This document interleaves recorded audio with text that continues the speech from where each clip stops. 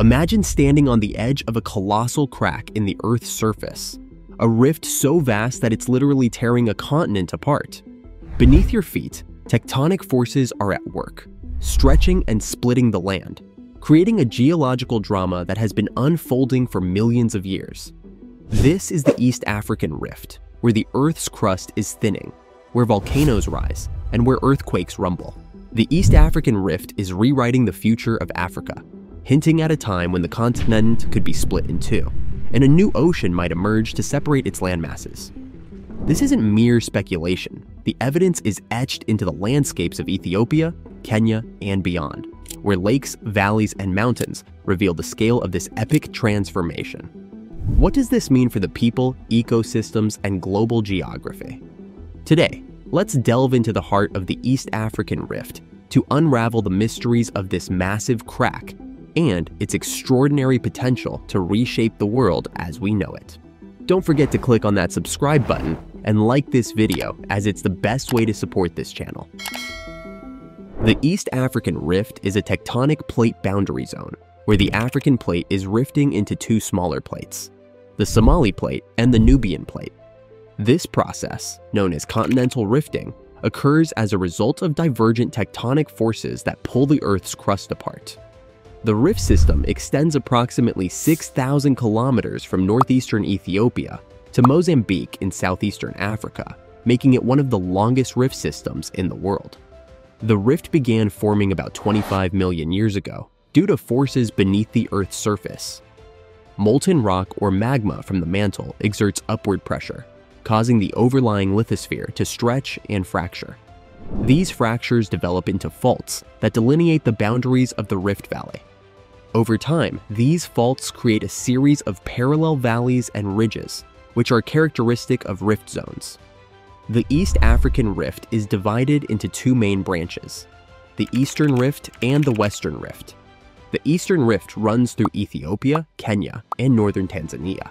It is distinguished by prominent volcanic features such as Mount Kilimanjaro and Mount Kenya, as well as alkaline lakes like Lake Turkana and Lake Natron. The Western Rift is bordered by some of Africa's largest and deepest lakes, including Lake Tanganyika, Lake Kivu, and Lake Albert. The Western Rift is less volcanically active, but is notable for its significant seismic activity. At the northern end of the rift lies the Afar Triple Junction, a geological intersection where three tectonic plates meet the African plate, the Arabian plate, and the Somali plate. This junction is a hotspot for tectonic activity and is considered a critical area for studying the dynamics of rifting. The thinning of the crust in this region is so pronounced that new oceanic crust is beginning to form, signaling the early stages of ocean basin development. The East African Rift is a hub of volcanic and seismic activity, driven by the underlying movement of tectonic plates. The rift's volcanism and earthquakes are not just byproducts of its formation, but are also key indicators of the dynamic processes shaping the region. The rift hosts some of the most iconic and active volcanoes in Africa. These include Mount Kilimanjaro in Tanzania, the tallest mountain in Africa and a dormant stratovolcano, and Mount Kenya, a dormant volcano and the second highest peak in Africa. Volcanic eruptions in the region are a testament to the movement of magma beneath the Earth's crust, which contributes to the thinning and splitting of the lithosphere. Seismic activity is another hallmark of the rift, earthquakes occur as the crust adjusts to the stresses imposed by tectonic forces. While most earthquakes in the region are relatively small, they serve as reminders of the rift's tectonic dynamism. Occasionally, larger seismic events occur, causing damage to infrastructure and posing risks to human settlements. The East African Rift represents the initial stages of a process that could ultimately divide the African continent into two separate landmasses. This rifting is driven by convection currents in the Earth's mantle, which create upwelling forces beneath the crust. Over time, the crust stretches, fractures, and thins, making way for molten rock to emerge. As the crust continues to weaken, large sections will sink, allowing seawater to flood the depression and form a new ocean basin. This transition marks the evolutionary path from a continental rift to an oceanic rift, as seen in the Red Sea and Atlantic Ocean's histories. This dramatic transformation will not occur overnight. It is estimated to take tens of millions of years. However, the signs of this future division are already visible. Currently, the rift is widening at rates of a few millimeters to centimeters per year. While imperceptible on a human timescale, this rate is significant over millions of years. As the Somali plate continues to move away from the Nubian plate, the rift will eventually widen to the point where seawater inundates the area. This will lead to the formation of a new ocean basin. The resulting ocean that will separate eastern Africa from the rest of the continent will create a new island landmass. This is similar to how the Atlantic Ocean formed when South America and Africa drifted apart. If you look at the west coast of Africa and the east coast of South America, you'll notice they fit together like two jigsaw pieces, beautifully highlighting how these continents were once joined as one.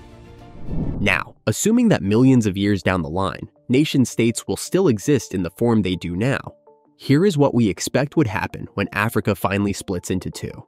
Six landlocked countries, namely Rwanda, Uganda, Burundi, the Democratic Republic of Congo, Malawi, and Zambia would inadvertently find themselves with a coastline. A new coastline just in their front yard would come with huge advantages. The previously landlocked countries will now have access to the sea, giving rise to the reduction in international logistical expenses and creation of shipping and fishing industries that did not exist. The countries will build harbors that will connect them to the rest of the world directly. The smaller continent created by the rift will include countries such as present-day Somalia and parts of Kenya, Ethiopia, Eritrea, Djibouti, Tanzania, and Mozambique. But according to geologists, the smaller of the emergent continents may drift away from the rest of the continent. Depending on how the rift happens, there is the possibility of new nations forming, old nations merging, or completely breaking apart. Geologists predict that Madagascar will itself break apart into smaller islands. Quite possibly, the new ocean that may arise in another 5 or 10 million years will be named the African Ocean, and the world will have a new and eighth continent. The development of this new ocean will connect the Red Sea, the Indian Ocean, and the Atlantic Ocean, fundamentally altering global geography and enhancing Africa's strategic importance. The creation of a new ocean will also bring significant climatic and ecological shifts. Coastal climates will become more humid, altering rainfall patterns and vegetation types. The biodiversity of the region will also undergo dramatic changes as terrestrial ecosystems give way to marine environments. New coral reefs, fisheries, and saltwater ecosystems will emerge, supporting species adapted to this transformed habitat.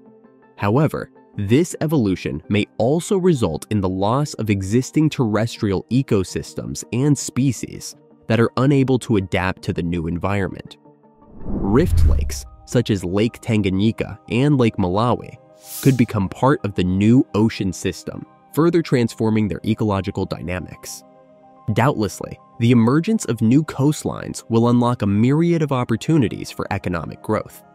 There will be far more maritime activities, and a possible shorter route to other parts of the world. But there will also be terrifying implications. As tectonic activity intensifies, earthquakes, volcanic eruptions, and land subsidence will become more frequent, leading to widespread destruction of infrastructure such as roads, buildings, and bridges. Meanwhile, Africa is the most impacted region when it comes to displacement, with a larger number of countries affected than any other continent or region. Every year, millions of people are internally displaced in Africa. As the plates continue to split in the future, this phenomenon will result in the displacement of communities and settlements. The transition from a terrestrial to a marine environment in the rift zone will destroy existing ecosystems. Unique terrestrial habitats, including forests, savannas, and freshwater lakes, will be lost or significantly altered. Many plant and animal species that are unable to adapt to the new environment may face extinction, while others will become endangered due to habitat changes. resulting in a significant loss of biodiversity. As the rift continues to evolve, it reminds us of the ever changing nature of our planet. While the ultimate splitting of the African continent may be millions of years away, the East African Rift provides a glimpse into the future of our world and underscores the intricate interplay between geological forces and life on Earth. Who knows whether humans will be around to see any of these changes? But discussing the possibilities of the future is important as it may come earlier than humans think. What are your thoughts on Africa splitting in two? Leave a reply in the comments section below. Thanks for watching and see you in the next video.